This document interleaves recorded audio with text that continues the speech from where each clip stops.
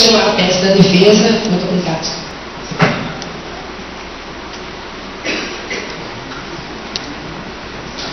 Boa noite, senhores. É, esperamos realmente que a justiça faça nesse tribunal de júri. Gostaria de ressaltar que os senhores não qualificassem o réu como culpado ou inocente, pois o fato realmente aconteceu.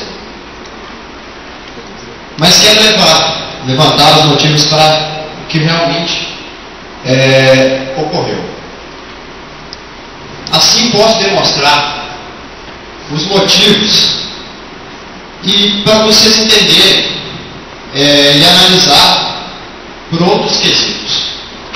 O réu estava numa ilha, sem nenhuma perspectiva de sobrevivência, sem nenhuma possibilidade de resgate.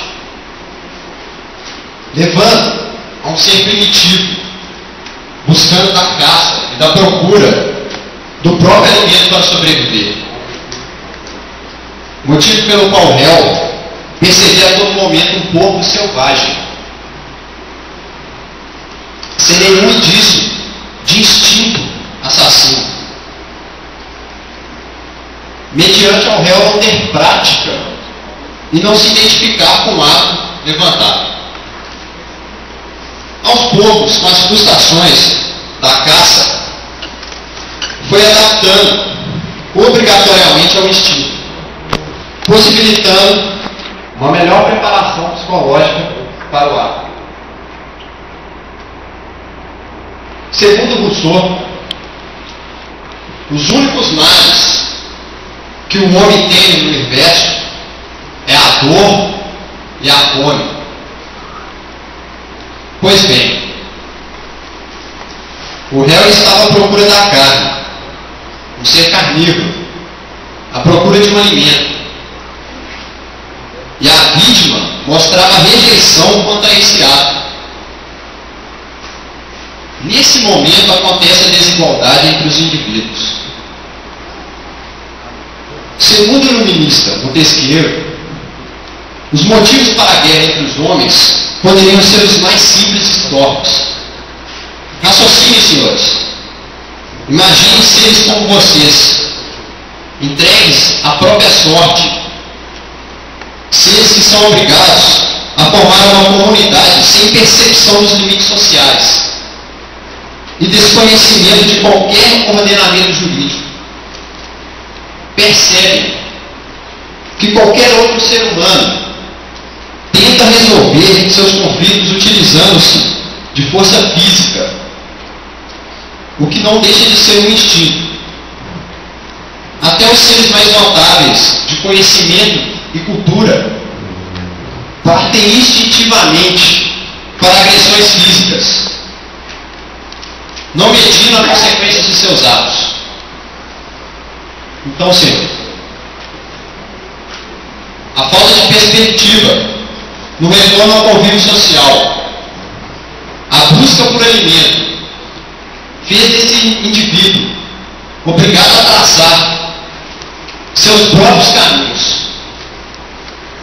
Tudo isso envolveu aquele ser que estava preocupado primeiro em se alimentar, inserindo de alguma forma adaptações dele,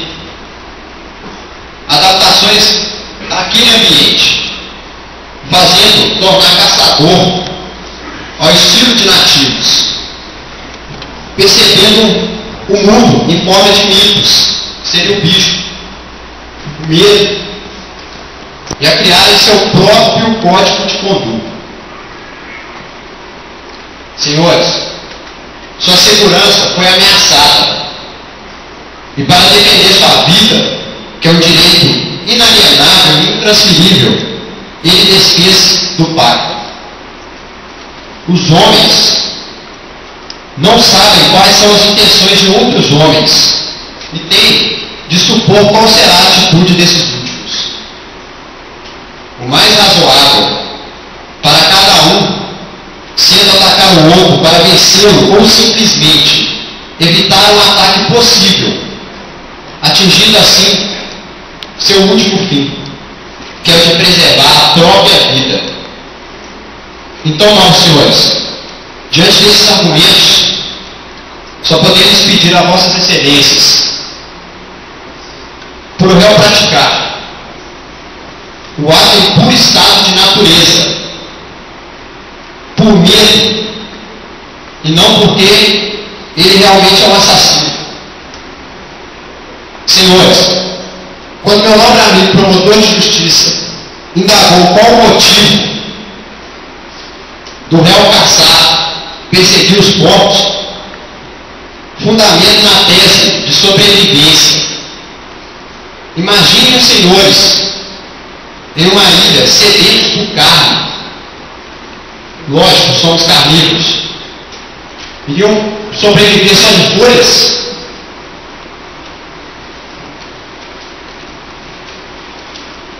Então pense, senhores. Nos argumentos que levantam. Só isso.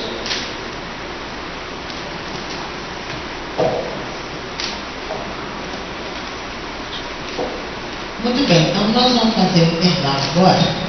Nesse momento de intervalo, os alunos que estão no grupo da defesa e no grupo da acusação, que que os colegas falaram, vão colaborar com os companheiros para ajudar a montar a réplica e a tréplica. São quase 8h20. 8h33, mais ou menos, e a gente volta para começar os trabalhos. Então vocês podem aí, é, ir lá para fora, né? Para fazer o trabalho separado.